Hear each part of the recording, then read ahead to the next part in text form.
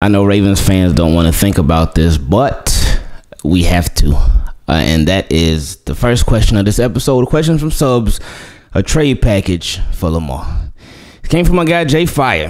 He said, What's up, Ingraven? Your boy Jay Fire here. I'll get right into it. You've probably seen the article where Lamar says he asked for a trade on March 2nd, which is wild. So it looks like we are headed for a messy split. So, what would you like to see Lamar traded for, if not just the two first round picks?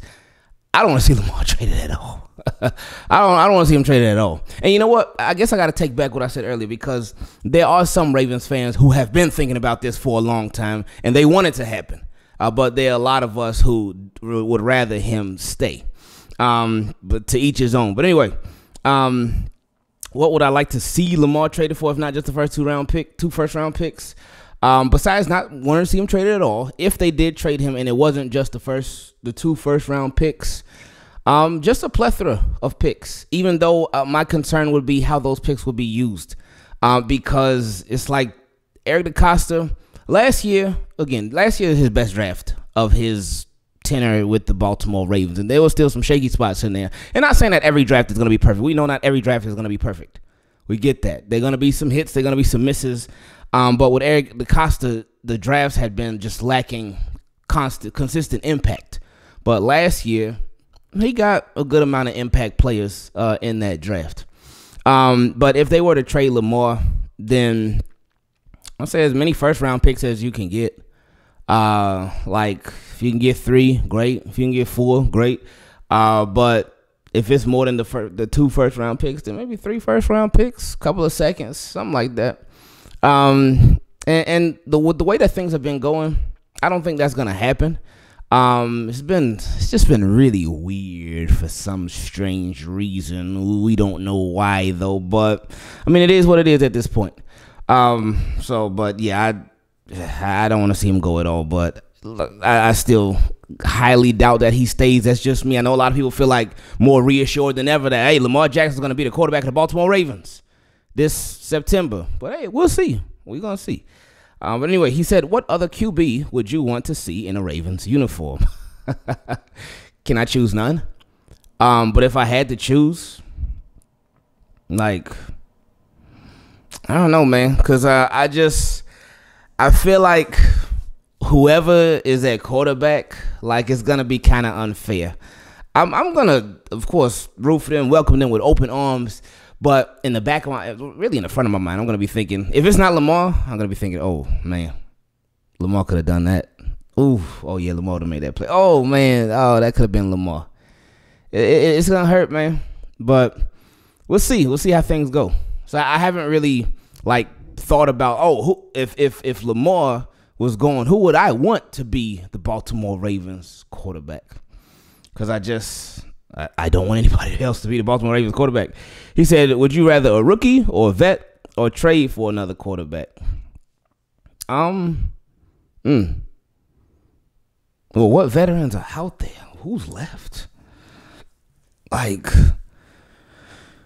the only veteran that's out there and available, and it would really be a, like a one year deal probably is Aaron Rodgers. But you know, Ravens like they ain't trading for no Aaron Rodgers. Um, um, I guess bring bring Joe Flacco back.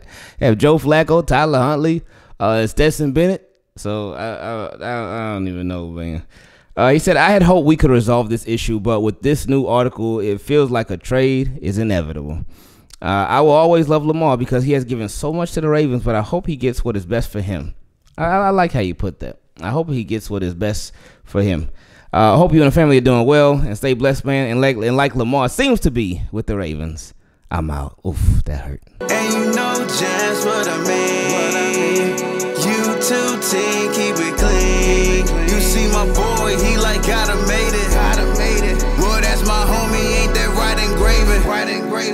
Team Keep It Clean, welcome to another episode of Questions from Subs, a series where you can ask any NFL question you want to, and we answer it in a video just like this.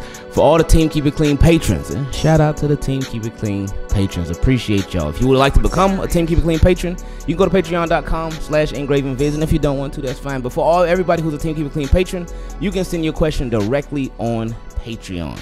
Uh, if you're not a Team Keep It Clean patron, which is fine, uh, you can send your question to teamkeepitclean at gmail.com. And let's get into uh, some Team Keep It Clean patron questions. Uh, first one came from my guy Ace. Now, he's been a patron for 28 days, so I appreciate you. It's been almost a month.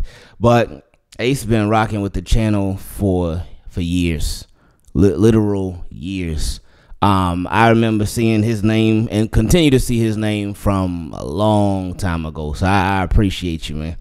Uh, anyway, he said, What's up, Ingraven? It's been a long time since the last time I hit you up. I still watch your videos every day. I hope you and the fam are doing well. Hey, I appreciate that, Ace. He said, I got one question for you. Do you think the moment is too big for the Ravens to handle with Lamar Jackson's contract? I want Lamar to stay, but my heart tells me he will be traded. Mm. Oh. Side note, my wife has been giving slack about watching your videos, but lately I have been catching her watching videos. Keep up the excellent work. Uh, and like Giro, I'm out. Hey, appreciate it. Shout out to the both of y'all. I appreciate y'all, man. Uh, hey, that's special right there, man. Um, but is the the moment too big uh, for the Ravens to handle with Lamar? I don't think it's too big for them. I do think um, if we just talking contract, really, I mean, we can't separate contract from everything else. Uh, and that's a really, really good question. I, I don't think, um, as far as the contract, I, I think they lessened uh, how big the contract moment was because again, you know, all the owners are they they they are with each other on this one. Like, hey, we don't want this thing to be fully guaranteed, and even if it ain't fully guaranteed, we don't want the them the crazy amount of guarantees that that guy Lamar Jackson wants. We don't want that. So that moment it, it got made smaller by all the owners just being locked in with each other. Um, now, as far as Lamar Jackson, just strictly as a player, I do think that moment was too big for the Ravens. It shouldn't have been, and they had every reason to not make it too big for them, but it ended up being too big for them, and they they they could have handled it, but they didn't handle it. They didn't, um, because Lamar Jackson has been probably the best Ravens offensive player like ever, best Ravens offensive player ever, and that's against like the Jamal Lewis's the Ray Rices, the the Shannon Sharpes, the Todd Heaps, the Dennis Pittas, uh, the the Torrey Smiths, the it, like he's been. I mean, like he ain't really got too much competition, but still, you know, Ravens been defense play, be the defensive team, but Lamar has been that guy, that guy for them. Um, but they they just failed the last three years. They just failed to really like put the best of the best around him, and they failed to do a better job of putting more pieces around him to make his job easier and to make the entire offense's job uh, easier. Um, there have been injuries uh, that mess some things up. Uh, I was just talking to my guy uh, Frank about it yesterday. Um, but with even with that, like, cause remember last year had Ravens, they they started off a little hot, then uh, Bateman went down, and then things just changed from there. It was never the same after that. But my thing was like, hey, it, it shouldn't have been Bateman a bust. It shouldn't have been Bateman a bust, especially a contract year for Lamar. Like, come on now. Even again, last three years after 2019, that should have been like, all right, let's do it. But they ain't do it. So that part of the moment, well, it, seemed like the, it was too big for the Ravens because it seemed like they just they had this special, special player but they didn't know what to do. The next two questions came from my guy David M, who has been a patron for 24 days. So appreciate you, David. He said, "Ingraven, congrats on getting your monetization back. Happy to hear things are going well in terms of the whole YouTube situation." Hey, I appreciate that, David. Thank you. He said, "Within a few minutes, I saw the Ravens announce that they signed Nelson Agholor, and then the Panthers came out and said that they signed DJ Chark. I, I think this really says a lot uh, about how differently EDC values wide receivers from other GMs." Uh, how do you think this move from the Ravens looks, and what do you think it says about how we'll move forward in free agency and the draft? Um, well, that that move um it scared me because I thought it was a solid move. Um, Nelson Agholor can make some plays. Obviously, he's known uh, for his drops. Um, last year his drops were down. Last two years since he went with the Patriots, his drops are way down. But so is his production. So I'm sure they go hand in hand. Um, but I was worried because I was worried uh, about how this makes since the Ravens already they have a limited amount of cap space. Um, now again, if you really want somebody, you can get them. You can make it happen. You can get creative. Uh, but it just but Ravens are not a team to do that. Now this year they have been doing the whole thing with the void years and whatnot, and that's not something they normally do. So they've been getting a little more creative this year, a little bit. Um, but I'm still not sold that right. Uh, with limited cap space, it, has been said that they've been looking around at DeAndre Hopkins, Odell Beckham Jr. and um and Courtland Sutton. Uh, but I'm just not confident and not sold that all right, they they gonna definitely make a move for one of those guys. Um, so with that being said, uh, as far as EDC, how he values wide receivers versus other GMs, um, the same value is not put on that position as it is with other GMs. He'll try in the draft. He'll he'll take some shots in the draft. Obviously, two first round picks, uh, Hollywood and, and Bateman. You got Duvernay third round pick. You got Proche, who I always forget whether he was a fifth or sixth round pick. You got Tylan Wallace, he was a fourth round pick. You got Miles Boykin, he was a third round pick. So he'll technically take the draft shots but he'll take the shots that have a, a lower chance of hitting. It's like he will take the three point shots from half court. He'll take he'll take a lot of those, but the layups he'll be like, oh no no no no, I, I ain't doing that. Even though the layups cost a little more money, but he don't take the layups. Uh, he also said, now that we know that Lamar requested a trade as of March 2nd, what do you think of the previous reports uh, of the Ravens speaking with Anthony Richardson. Do you think that's just the Ravens doing their due diligence, or perhaps they've been looking to move on from Lamar since he requested the trade or even earlier? Um, I just think they just staying ready. Like if they do trade Lamar, like hey, we know about Anthony Richardson, so just in case if he's available, whenever we get whatever picks we get, whatever picks we have, if he's available, then we know if we want to take him or not. So I mean, this whole thing, like it, it just I don't think it's a big deal that they met with Anthony Richardson and seen him because they they got to try to be as prepared as they possibly can too, whether they have Lamar or whether they don't have Lamar. Next question came from another patron, my guy Kevin. He said, uh, "Tough day. Lamar said goodbye to us today. Uh, that's not leverage. That's a man taking control of his future. Uh, I'm sad as a Ravens fan. You chose not to pay him. Chose not to develop him as a passer. Uh, do the right thing. Trade him and get a boatload back and move on." Um, so with that part, um, this he sent that on the day that Lamar sent out his his letter to his fans. Um, and yeah, that, that, that was crazy, and it is him trying to take control. Um, and I think it's really him just uh, because I, I, have talked to a lot of people about this, and, and I've seen a lot of people have conversations about this. But in my opinion, I because a lot of people have been like, "Oh, he should have never did that. He shouldn't have said that." It's probably because um, the market for him is, is, is nothing's happening. He's trying to get something ramped up. And that could be the case, but I really think that it's just him tired of being Mr. Nice Guy. Tired, tired of being Mr. Nice Guy. I know there have been people who've been uh, like, oh man, all that stuff that he's putting on Twitter needs to stop. I think he's tired of other people uh, writing the narratives for him. And now he's like, ah, you know what? I'm going I'm to control my own narrative. For, for years and years and years, it's always been somebody saying something. It's always been somebody, oh, Lamar this, Lamar that, and he a lot of times he's just sat back. There've been sometimes where he would come out and address it. But when he came out and addressed it, everything was like, oh my goodness, whoa, Lamar, where, where you coming from with this? Because we would be so used to him not addressing it. But now he's like, you know what? No, I'm gonna make this a normal thing. I'm addressing all this stuff. The injury, uh, hey, that's my PCL. I wish I could be out there with my guys like right, what that right before the playoff game. I think. I wish I could be out there with my guys, but my my PCL ain't right. It's not. So the, the, the report came out that he uh he turned down a or he missed out on a, a, a shoe deal, and he said, "Oh, that's cap." The um just everything he he just been addressing stuff. He's been addressing stuff a lot more, a lot more frequently uh, over this off season. I guess Lamar's like, you know what, I, I got time now. I got time, and, and I'm not I'm not letting other people write the narrative anymore. Um, now, as far as uh, he said, I'm sad as a Ravens fan, you chose not to pay him. They did try to pay him. They gave him contract offers, but it's not up to his standard of what he wants. So we can't say they didn't try to pay him or they didn't pay him. They tried to pay him, but it's Ravens standard, not to Lamar. So we'll see how that goes. Uh, and then he said chose not to develop him as a passer. that part, yeah. Uh, and then he said do the right thing and trade him and get a boatload back and move on all right, that's what I think is gonna end up happening. They end up being traded, but we're gonna see. We're gonna see. I've been, I've been wrong before a lot. Maybe wrong again, but yeah, that's that's the way I think this thing is headed. So we'll never know till we know.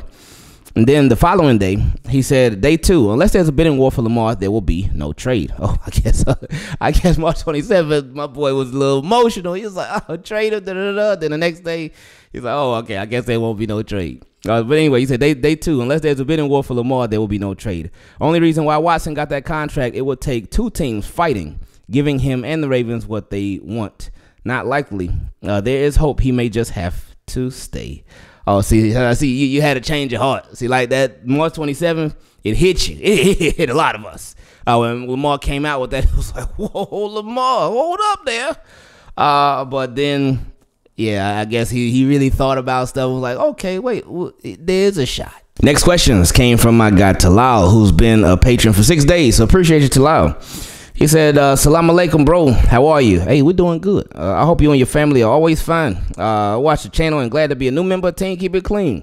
I appreciate that. He said, I'm a, I'm a Ravens fan from two years ago because of LJ8. He is my GOAT. Uh, I hope he signs soon. Uh, what do you think about this? I think the Ravens give him what he asked for because he already achieved all these franchise targets. Number one, uh, sell tickets. Done. Okay. Number two, playoffs yearly done. Well, for that part, yes and no. When he finishes the season, yeah. When he don't, well, he still put him in position like this past year. Um, but that part, uh, just finishing out the season, that that's got to be better. Um, he said three, sell T-shirts and souvenirs. Done. Oh, for sure. Number four, get franchise uh, primetime match matches. Uh, and he said that's nice to watch. Done. Yeah. I believe uh, that's all the Ravens targets. He's and he's achieved them all. Best wishes. Well, not all. They, that's not all the Ravens targets. I think there's some more in there, but he has certainly brought uh, helped bring a lot of revenue uh, to these Baltimore Ravens. It just gave them a lot of attention, and when you got that attention as a business, that helps you a lot, a whole lot. Uh, and then he also said, um, "I have thought how Ravens uh, have low cap space." Uh, but what they miss and need is a cornerback, um, and maybe a, a, QB on his rookie deal. And, and, can you explain everything to me? Oh, as far as uh, the the cap space and what they miss and need, um, the the low cap space right now, uh, thirty a little over thirty two mil. They have like I think they have like maybe like six seven million cap space right now. So they have some. Um, and yeah, they do still have some needs out there. Uh, 32 mil of it, a little over 32 mil is dedicated to the franchise tag for Lamar. Um, so that's taking up a lot. So whatever happens with it, whether they're gonna keep him on a franchise tag and he plays on that, that's what it's gonna be. If they sign him to an extension, then that cap hit will be a lot lower. It'll be a lot less money on the cap dedicated to Lamar. Or if they trade him, obviously there will be no money uh, on the cap dedicated to Lamar. Um, and as far as the need for for a QB on his rookie deal, the QB on his rookie deal, they they have it's a five year deal. Well, it's a four year deal with a fifth year option. So it's a four year deal, um, and then in the after the third year, the team has the option to be like, all right, we want to pick up the fifth year option that will kick in the year after the next one, or or they can decline the fifth year option and it can just be a four year deal. So that's up to the team. That gives the team a little bit more control uh, over the player uh, who's a rookie and drafted in the first round. Now, the, the fifth round uh, option is only for first round picks. Second, third, fourth, fifth, sixth, seventh round, there's no fifth year option with them. Um, but for the first round picks, they uh, have the fifth year option in their contracts. And their contracts, um, depending on where they're drafted in the first round, uh, then that sets the amount of money that they get paid. Uh, like there's no discrepancy. There's not like oh, they, I mean, they can fight for different clauses in their contracts and whatnot, but the money that they're gonna make is the money that they're gonna make depending on where they what slot of the first round that they drafted in. Uh, so I hope that oh, and as far as the the, the need, what they miss and need at cornerback, uh, well, Marcus Peters is a free agent. Um, the Ravens were actually interested in Darius Slay, and I I thought that that was just a rumor, but Jeff Zrebiec said no, that that that was real. Um, so yeah, they they are going to need corner opposite Marlon Humphrey. Right now, it would be if the season started today, it would be Brandon Stephens most likely. Um, maybe some Pepe Williams in there, uh, Jalyn Armour-Davis. Um, so yeah, their cornerbacks room is a little thin right now. Uh, I'm sure they would probably have Kyle Hamilton in the slot, maybe, and have Geno Stone drop back at safety next to Marcus Williams. But it, it's so early, so they they got plenty more moves to make uh, because it was still pretty early in the offseason.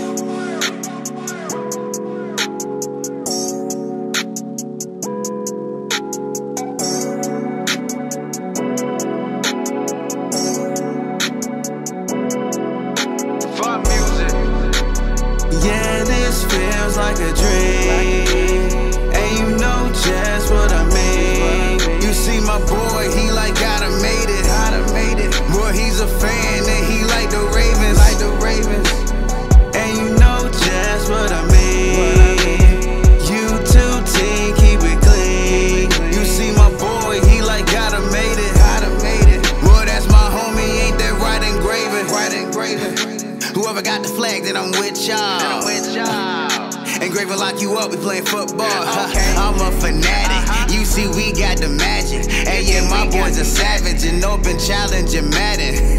Let's go. Make him rage quit, exit out the door. Exit out the door. Yeah. Use his favorite team with a Baltimore. Huh? Don't get mad. Uh-huh. It's just what it is. Yeah, we talking sports shot out the engraving.